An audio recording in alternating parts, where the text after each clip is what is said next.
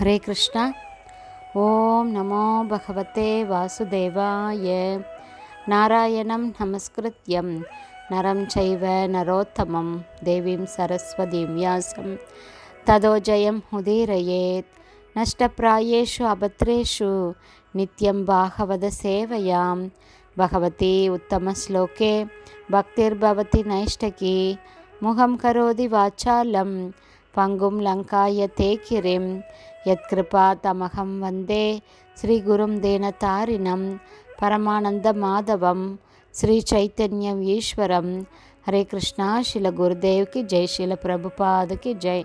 ஹரே கிருஷ்ணா ஸ்ரீமத் பாகவதம். ஸ்கந்தம் நான்கு. அத்தியாயம் ஒன்பது. துருவ மகாராஜா இல்லம் திரும்புதல் என்னும் தலைப்பில் பதம் பதினொன்று. பக்திமுகி प्रवहतां त्वयि मे प्रसङ्गो भूयात् अनन्तमहदाम् अमल आसयनाम् येनाञ्जस उल्बणम् उरु व्यसनं भवाप्तिं नेष्ये பானமத்தக டிரான்ஸ்லேஷன் துருவ மகாராஜா தொடர்ந்து கூறினார் ஓ அளவிறந்த பகவானே ஆற்றின் அலைகள் தொடர்ந்து வீசுவது போல உமது உன்னதமான அன்பு தொண்டில் தொடர்ந்து ஈடுபட்டிருக்கும் சிறந்த பக்தர்களுடன் நான் தொடர்பு கொள்ளுமாறு நீர் எனக்கு அருள் புரிதல் வேண்டும். இது போன்ற உன்னதமான பக்தர்கள் முற்றிலும் மாசற்ற வாழ்க்கை நிலை உடையவர்களாக இருக்கின்றனர். பக்தி தொண்டு புரிவதன் பலனாக தீயின் நாக்குகளைப் போல அபாய அலைகளினால் நிரப்பப்பட்டிருக்கும். உலக வாழ்க்கை என்னும் அறியாமை கடலினை என்னால் நிச்சயமாக நீந்தி கடக்க முடியும். இது என்னால் ஆகக்கூடியதே. ஏனென்றால் என்றும் நித்தியமாக இருக்கும் உமது கல்யாண குணங்கள் மற்றும் லீலைகளை கேட்பதற்கு நான் பித்தனாகியுள்ளேன். ஹரே கிருஷ்ணா. இதோட பர்போட்டு லாஸ்ட் ஆடியோவில் பாதி பார்த்துட்டோம். பேலன்ஸ் இப்போ பார்க்கலாம். ஒரு மாயாவாத கொள்கைக்காரர் நம்மிடம் பக்தர்களுடனான தொடர்பினால் நீங்கள் மகிழ்ச்சி அடையலாம். ஆனால் உலக வாழ்க்கை எனும் கடலினை நீந்துவதற்கு உங்களிடம் உள்ள திட்டம் என்ன என்று கேட்கலாம். இதற்கு துருவ மன்னர் அது அத்தனை கடினமானதல்ல. என்று இங்கே பதில் கூறுகிறார். அவர் மிகவும் தெளிவாக இந்த ஸ்லோகத்தில் கூறுகிறார்.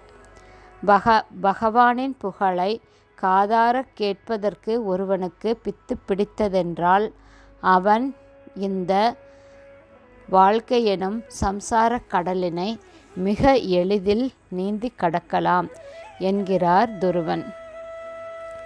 பகவத் குணகதா ஒருவன் பகவத்கீதை ஸ்ரீமத் பாகவதம் மற்றும் சைத்தன்ய சரிதாமிர்தம் போன்றவற்றிலிருந்து பகவானின் சரிதங்களை பகவத் குண கதா பகவானின் சரிதங்களை கேட்பதில் உறுதியுடையவனாகவும் மதுவிற்கு அடிமையாவது போல இந்த முறைக்கு அடிமையானவனாகவும் அதாவது பகவானின் கதைகளை கேட்பதற்கு அடிமையானவனாகவும் மாறினால் உலக வாழ்க்கை என்னும் கடலினை அவனால் எளிதில் கடக்க முடியும். இந்த அறியாமை கடலானது எரிகின்ற நெருப்புக்கு ஒப்பானதாகும். ஆனால் ஒரு பக்தனுக்கு இந்த நெருப்பு முக்கியத்துவம் இல்லாததாகும். ஏனெனில் அவன் பக்தி தொண்டில் முற்றிலும் மூழ்கி இருக்கிறான். எரிகின்ற நெருப்பாக இந்த உலகம் இருந்தாலும் பக்தனுக்கு அது முற்றிலும் இன்பம் அளிப்பதாகவே தோன்றுகிறது. விஸ்வம் பூர்ண சுகாயத்தே. துருவ மன்னனின் கூற்றிலிருந்து பக்தி தொண்டில் பக்தர்களுடன் கூடிய தொடர்பானது அவனது பக்தி தொண்டு மேலும் வளர்வதற்குரிய காரணமாகிறது என்று விளக்கப்படுகிறது. பக்தி தொண்டின் மூலமே ஒருவன் உன்னத உலகமாகிய கோலோக பிருந்தாவனத்தை அடைய முடியும். அங்கும் அவனுக்கு பக்தி தொண்டுதான் இருக்கிறது. பக்தி தொண்டு என்பது இந்த உலகமாயினும் அல்லது ஆன்மீக உலகமாயினும் இரண்டிலும் ஒன்றுதான். பக்தி தொண்டு எங்கும் என்றும் மாறாது. சான்றாக மாம்பழத்தை இங்கே குறிப்பிடலாம். அது முற்றிலும் கனியாத நிலையிலும் மாம்பழம் என்றுதான் அழைக்கப்படுகிறது. நன்கு கனிந்த பின்பும் மாம்பழம்தான். ஆயினும் இந்த நிலையில் நன்கு கனிந்த நிலையில் அது இனிய மனமும் சுவையும் உடையதாக இருக்கும். அதுபோல ஆன்மீக குருவின் கட்டளைக்கு ஏற்பவும் சாஸ்திரங்களின் கட்டளைகள் மற்றும் ஒழுங்குமுறை விதிகளுக்கு ஏற்பவும் இங்கு பக்தி தொண்டு செய்யப்படுகிறது. ஆன்மீக உலகத்திலோ முழுமுதற் கடவுளுடன் கடவுளுடன் கூடிய தொடர்பினால் அவருக்கு பக்தி தொண்டு நேரடியாகவே செய்யப்படுகிறது. ஆயினும் இவை இரண்டும் ஒன்றே வேறுபாடு இல்லை. வித்தியாசம் என்னவென்றால் ஒரு நிலை காயாகவும் மற்றொரு நிலை கனிந்து சுவையாகவும் இருக்கிறது.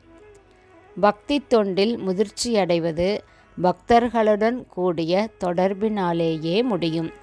ஹரே கிருஷ்ணா ஸ்ரீமத் பாகவதம் ஸ்கந்தம் நான்கு அத்தியாயம் ஒன்பது. துருவ மகாராஜா இல்லம் திரும்புதல் என்னும் தலைப்பில் பதம் பதினொன்றுடைய சில பக்திவேதாந்த சுவாமி பிரபுபாதாவின் விளக்க உரை இத்துடன் நிறைவடைந்தது. ஹரே கிருஷ்ணா ஸ்ரீல குருதேவ்க்கு ஜெய் ஸ்ரீல பிரபுபாதுக்கு ஜெய். ஹரே போல்.